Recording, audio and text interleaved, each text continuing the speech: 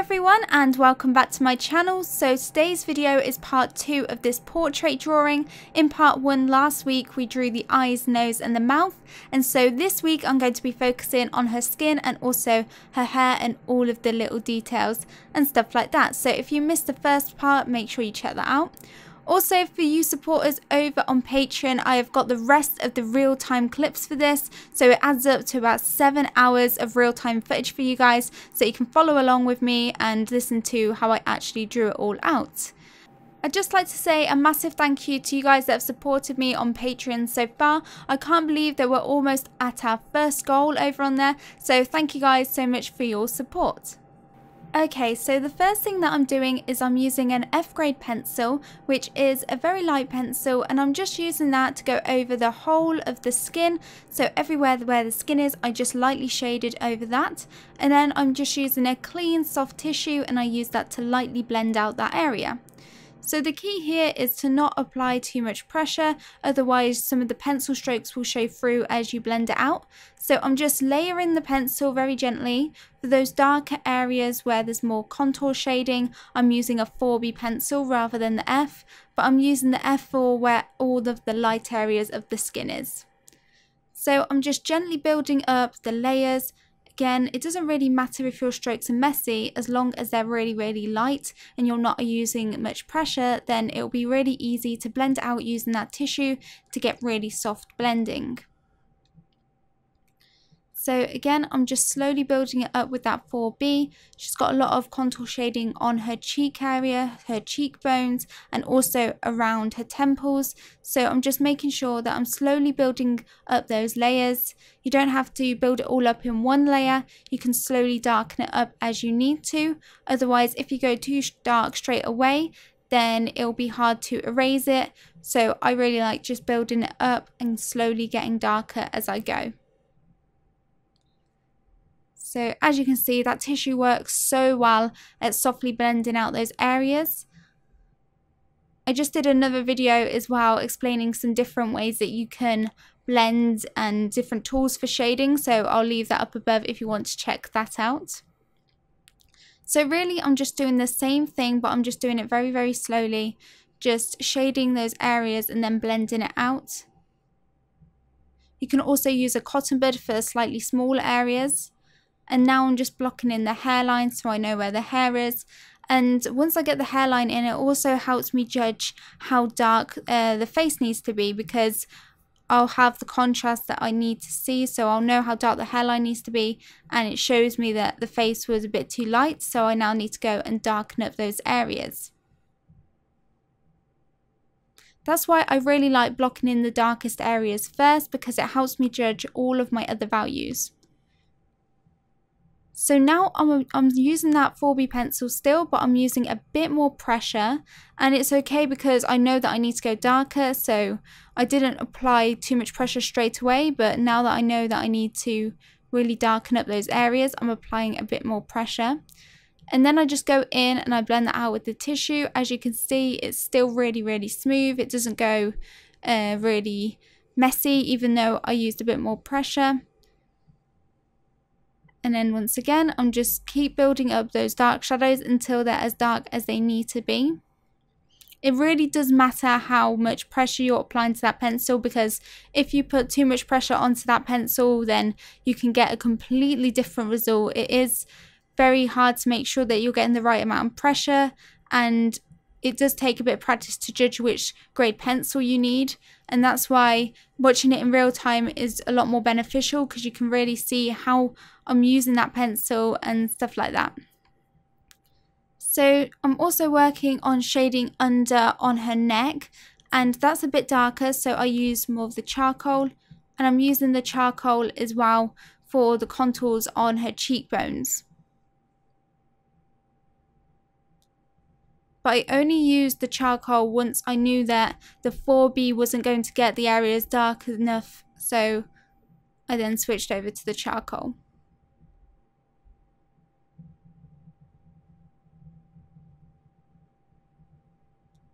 Okay, so still building up those shadings. You can apply charcoal over the graphite as long as the graphite isn't like burnished into the paper. If it's really, really shiny, then you're not going to get the charcoal over the top. But if you're blending out with the tissue, then the charcoal tends to stick over the top of that. I don't recommend using graphite over the top of charcoal though. So now I want to block in all of her hair and to do that I am using a charcoal pencil and I'm using the 4B charcoal pencil. As you can see her hair in the reference photo is really really dark and there isn't too much like shading it's quite a block colour and it's just a dark mass. So I'm not worried too much about the direction that I'm going in.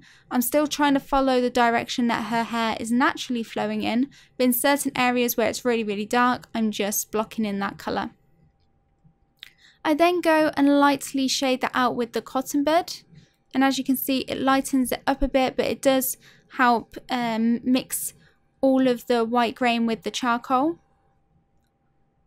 and it does soften out quite a lot but I'll need to do a few layers to get it the darkness that I want it to be so again I'm going over with that same charcoal pencil and I'm just following the direction that the hair is going in. I'm not using circular motions, I'm using lines that are going in the direction that the hair would naturally fall in.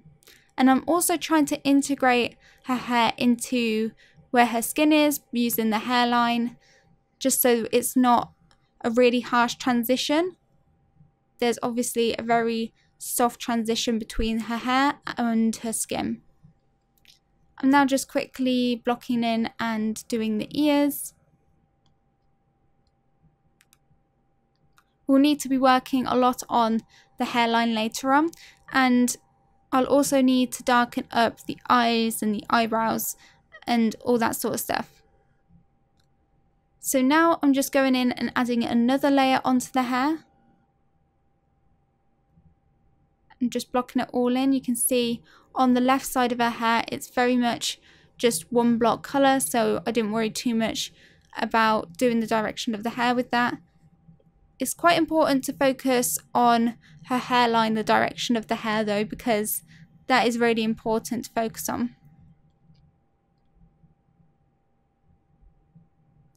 So now just one last layer and for this I am using the 6B charcoal pencil. So this is the darkest charcoal pencil that I own. It's a really, really soft charcoal pencil. So you might have to keep sharpening it to make sure that it's sharp enough to get all the individual hairs. But as you can see, it just makes it so much darker and it makes it closer to the reference photo, which is what we want it to look like. And so I just went over all of that one last time to get it the correct darkness. And now I'm going to work on those flyaway hairs because at the moment her hair looks very uniformed. There's not many flyaway hairs which really break up all those clumps and it just looks very neat and tidy. Whereas in reality in her reference photo she does have a few little messy bits of hair flying around and that is going to make your hairstyle look a lot more natural and it will make it look more realistic. So to do that, I'm using some of the lighter charcoal pencils and also graphite because if you're to use the really soft charcoal to do the little individual hairs, then it will just look too fuzzy and you can't get your pencil sharp enough to do those if you're using a soft charcoal pencil. So now I'm actually using a carbon pencil and it's quite a hard carbon pencil and I'm just using that to add some of the hairs on the hairline what I love about carbon pencils is that they also don't give shine, but they get really dark results. I just added a little bit of shine to the hair by using an eraser and I just chopped the end of it to give it more of a precise clean edge.